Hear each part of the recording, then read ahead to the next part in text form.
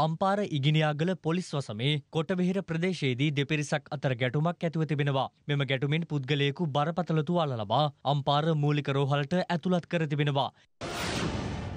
සිය එකම පුත්‍රයා පැවිදි දිවියට බාර කර යළි නිවස බලා ගමන් කළ පියෙකු දිඹුලාගලදී සිදු වූ රියානතුරකින් ජීවිතක්ෂයට පත් වූ සෝචනීය පුවතක් වාර්තා වනවා. දිඹුලාගල සොරවිල පදිංචි විසි අටහැවිරිදි මියගිය පුද්ගලයා සිය පුත්‍රයා සමග තනිව ජීවත්ව සිට තිබෙනවා.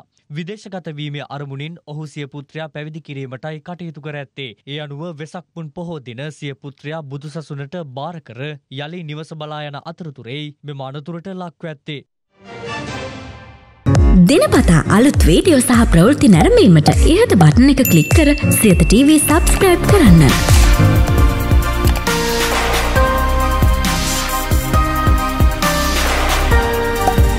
අලුත් වීඩියෝ ගැන මුලින්ම දැනගන්න මෙම සීනුව ක්ලික් කරන්න.